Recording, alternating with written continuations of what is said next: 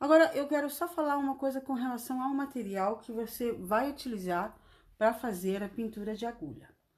Eu fiz a pintura de agulha na, na minha jaqueta é, jeans. Aliás, podia ter pego, né? Ela tá lá na sala. Ela tá na, na numa sacola jeans.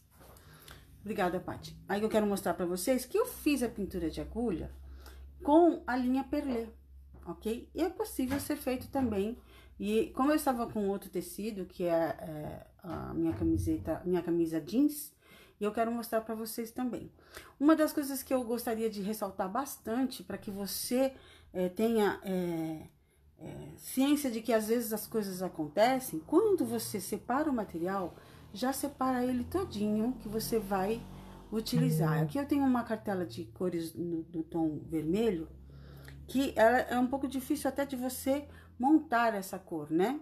Então, essa aqui é a linha Moliné da é, Anchor da corrente, corrente, ok? Então, assim, essas duas cores aqui, a 46 e a 47, são as cores mais comuns que nós encontramos do, é, da, da, da corrente, né? E eu fui na cartela de cores e fui puxar um degradê, né? Porque o que que faz a pintura de agulha? Ela faz com que o seu trabalho chegue bem próximo a uma realidade, né? Então, nesse exemplo que eu já fiz com esse tom, ó, vou voltar aqui para você ver, eu usei os quatro tons de vermelho, que foi do 1098, você vê aqui, eu falo assim, poxa vida, não tem uma sequência, né? 1098, 046, 9046 e o 047. Falar, agora eu vou mostrar o avesso desta pétala, da, dessa rosinha, dessa florzinha que eu já fiz, com os tons, daí eu estava falando das linhas, né? Então, você tome sempre o cuidado de, de separar já a sua linha para o seu trabalho, o seu projeto, porque pode acontecer, como eu estava aqui separando algumas linhas, e aí, de partida de uma para outra, pode ocorrer isto que eu vou mostrar para vocês. Eu tenho aqui uma meada, também da mesma marca, que ela é 302, certo? E essa daqui também é 302. Talvez no vídeo não dê o efeito que eu estou vendo aqui, essa aqui também é 302. O que que acontece? Existe aqui, nós estamos vendo aqui, Patrícia também está vendo, dá para ver aqui no vídeo, a diferença, sendo a mesma numeração, a diferença dos três tons, parece três tons, mas não é, é a mesma numeração, e o que que acontece? Isso é partida, né? Então, quando você for separar um trabalho, então você utiliza só esse daqui. Você guarda o outro, né? Você vai é, utilizar um dos do, do, do, das cores. Por isso que eu estou aconselhando você já deixar separadinho aqui. Eu já deixei tudo separadinho para que a gente é, possa concluir o trabalho. E assim, é um trabalho pequeno, né? Quando a gente fala de pintura de agulha, a gente não, não, é, como a gente vai trabalhar com um fio, se nós fizermos é, trabalhos muito grandes com a pintura de agulha, leva-se muito tempo. Então, para dar uma realidade, você faça sempre uma opção de fazer trabalhos menores, ok? Essa florzinha aqui, ela não passa de... Ó, ela tem, ó, no início aqui, ao final de comprimento, tem 5 centímetros e, e 3, 5 de largura com as folhas aqui, ela vai ter 4,5, mais ou menos, 5, quase 5 centímetros também. Entendeu? Então, são trabalhos pequenos, delicados, porque vamos utilizar um fio da Moliné. Então, o que que eu vou fazer aqui na, na para poder bordar? Então, a gente primeiro precisa preparar o nosso bordado né? Então, é uma pétala, como se fosse ou a pétala de uma, uma, uma flor, né? Eu fiz um pouco mais uhum. comprido para você ter uma melhor visão, certo? E é, eu vou dividir isso aqui, como eu estou usando quatro tons da família do vermelho, né, do 46, eu vou fazer, então, é, o degradê dessa pétala. Então, eu vou aqui, primeiro eu vou dividir as linhas aqui centrais, para que eu tenha, eu tenho que dar uma realidade como eu dei aqui, certo? Cada pétala. E aí, eu vou dividir aqui no meio, para você ter uma noção da onde você vai, aonde você vai colocar sempre os seus pontinhos. Então, eu vou dividir aqui, eu fiz questão de deixar para dividir aqui com vocês, para que a gente consiga explicar detalhe por detalhe. Então, aqui, esse aqui é o movimento que eu vou dar para esta pétala. Ok? Mais ou menos assim. Certo? Então, agora, como eu tenho quatro cores, eu vou dividir isso também em quatro partes. Então, eu vou começar aqui, ó, pelo meio, mas eu não vou dividir assim reto, né? Não vou passar um, um, uma linha reta. Eu tenho que dar movimento a esse trabalho. Então, eu vou dividir neste formato, mais curvado, para que eu tenha uma direção, certo? Então, eu tenho uma, duas, três, quatro partes, quatro cores para dar o degradê, como eu dei aqui nesta florzinha, porque ela tá um pouquinho menor, ok? Tudo bem até aqui? Certo?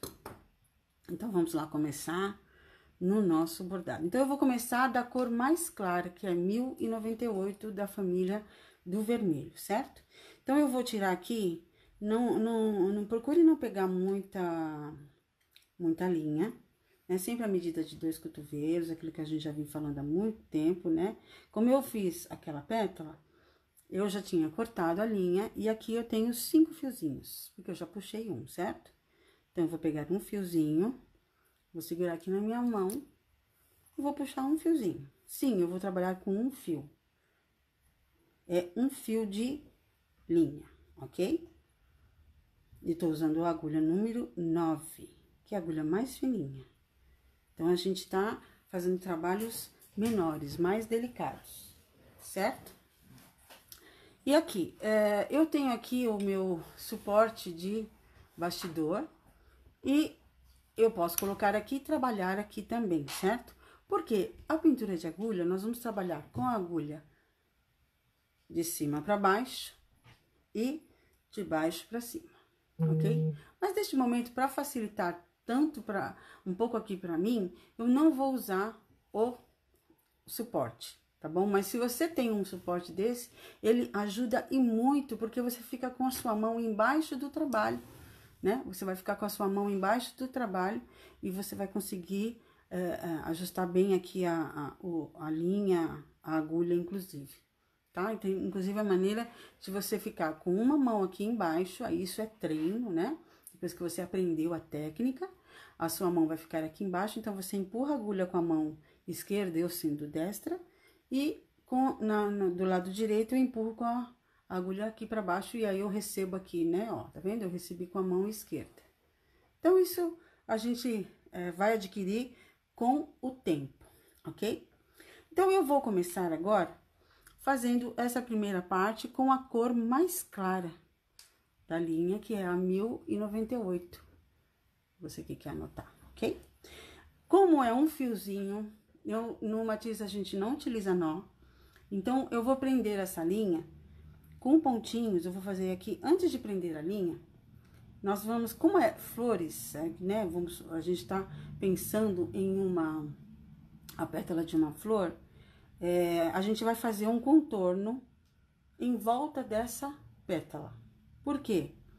Porque ela vai dar mais é, relevo na pétala, para que elas se dividam, para que elas fiquem bem...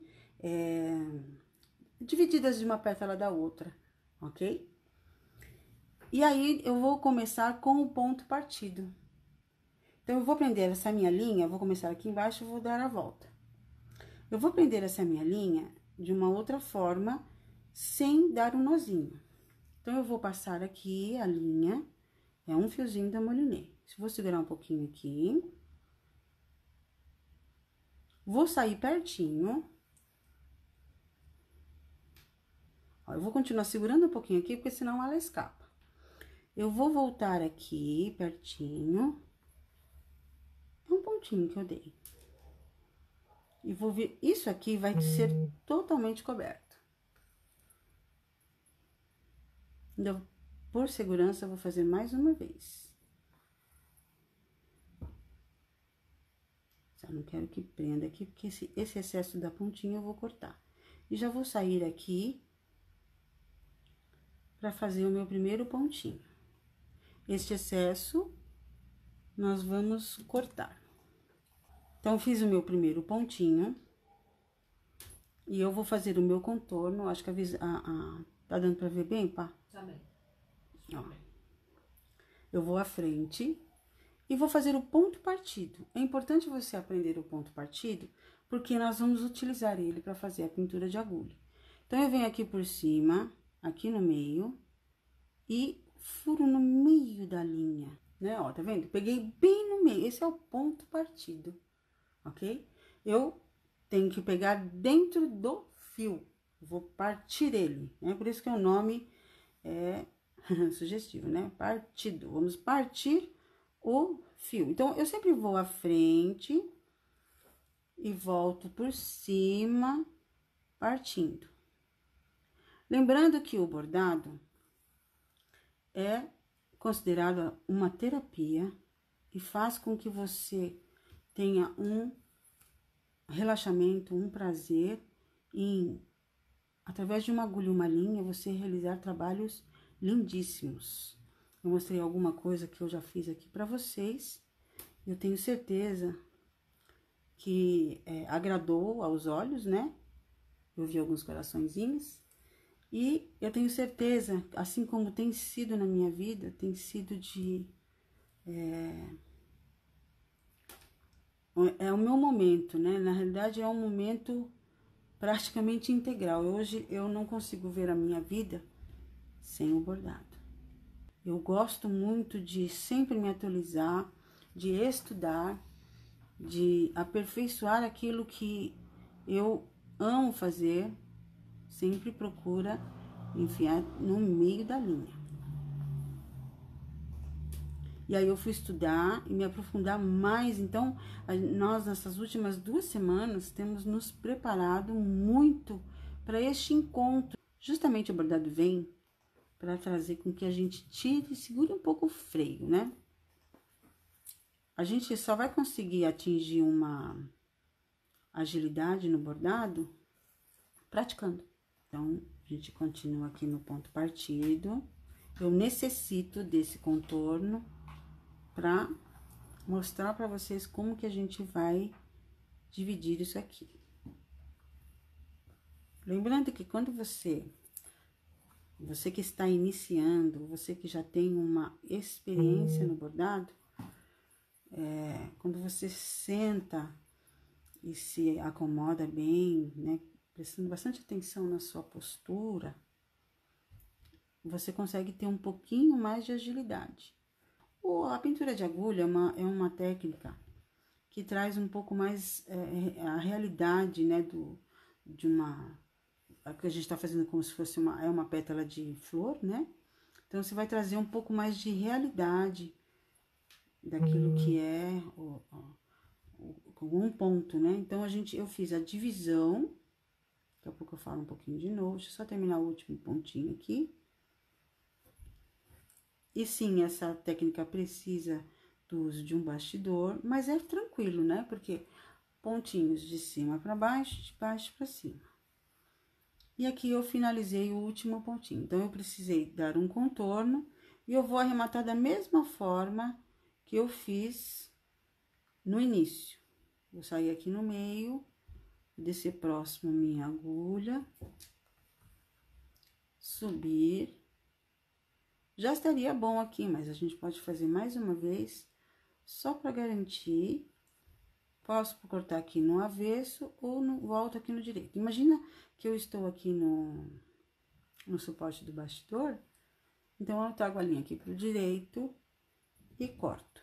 E isso não, não vai soltar, porque nós vamos ver, deixa eu virar aqui. Nós vamos preencher tudo isso aqui, né? Então, esses pontinhos que eu dei aqui... Ui, desculpa.